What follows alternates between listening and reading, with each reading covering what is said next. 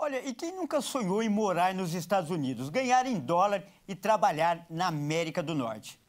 Pois é, muita gente ainda não sabe como funciona esse processo para, por exemplo, conseguir um visto e até o, autorização para trabalhar. E para tirar essas dúvidas, principalmente para os interessados, nós vamos conversar agora com um especialista. O nosso entrevistado de hoje é o Daniel Toledo. Ele é advogado e especialista, como eu disse, em direito internacional. Daniel, primeiro eu quero agradecer pela sua participação, por ter aceitado o nosso convite e explicar da forma mais didática quais os primeiros passos que a pessoa que tem esse interesse devem tomar. Obrigado, Kleber. É um prazer imenso estar aqui com vocês. Vamos lá. Muitas pessoas sonham realmente em vir para os Estados Unidos, morar aqui legalmente nos Estados Unidos e ter aí a liberdade de transitar entre Brasil, Estados Unidos e muitos outros países. Estar dentro dos Estados Unidos fisicamente com uma autorização de trabalho abre muitas portas. E eu sempre digo para os meus clientes e as pessoas que costumam acompanhar o meu trabalho: primeira coisa que você deve fazer é saber qual é o visto adequado para o seu perfil para que você possa migrar para os Estados Unidos legalmente com a sua família. E a única forma de você saber isso, com certeza, e sem grandes tumultos no meio desse processo é conversando com um advogado de imigração especialista em direito americano para que ele possa sim te orientar e dizer quais são as possibilidades de visto para você e a sua família. Agora, Daniel, nos últimos anos, os governos dos Estados Unidos adotaram algumas políticas mais rigorosas, dificultando até a entrada de estrangeiros. Com a pandemia, essa realidade mudou? Está mais fácil ou mais difícil? É, boa pergunta. Ela, na verdade, ela está dos dois lados. Ela está mais fácil e está mais difícil. Ela está mais fácil para você fazer uma aplicação de um processo de imigração, ou seja, um processo que possa abrir vagas para vocês, porque existem muito mais vagas. Não é que o processo, a análise do processo em si, ela não ficou mais fácil, mas a oferta de vagas hoje para imigrantes, para trabalhar legalmente dentro dos Estados Unidos, ela está muito maior do que ela estava dois, três anos atrás.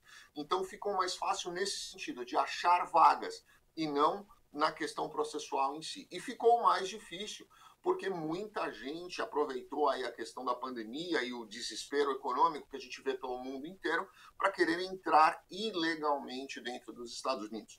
E isso fez com que, obviamente, as fronteiras se fechassem e a rigidez de análise de alguns processos, que são processos de vistos mais simples, como estudante, como visto de turismo, como visto de negócios, que, que vem sempre junto com o visto de turismo, é, esses procedimentos passaram a passar por uma malha muito mais fina do que existia antigamente. Ou seja, nós temos hoje uma quantidade de vistos de turismo, negócios e estudantes muito maior, com mais negativas do que nós tínhamos há dois anos atrás.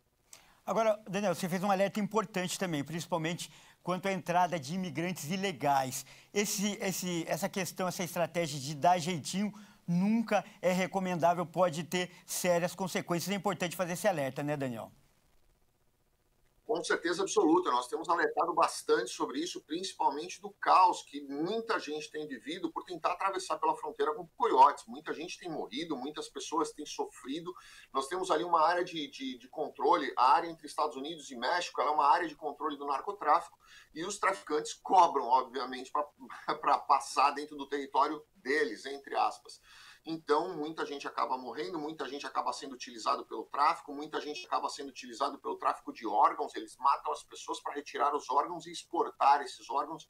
Então, isso com certeza absoluta é uma loucura e a gente tem batido muito nessa tecla de alertar as pessoas para que elas não cometam esse.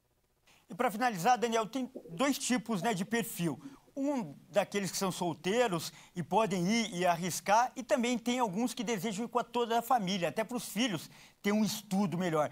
Qual é a diferença de realidade e a possibilidade para cada um desses casos? Eu acho que, que eu falo para você como experiência própria, né? Que eu mesmo passei por isso há, há muitos anos atrás. Né? Quando você vem com filhos, eu vim com meu filho, meu filho na época tinha quatro anos mais ou menos, é, você tem aquela responsabilidade de, de não cometer muitos erros, você tem muito receio de cometer algum tipo de erro e esse tipo de erro te trazer algum tipo de problema que vai impactar dentro da sua família. Isso é muito complexo. Então, obviamente, quando você está solteiro, você pode correr alguns riscos.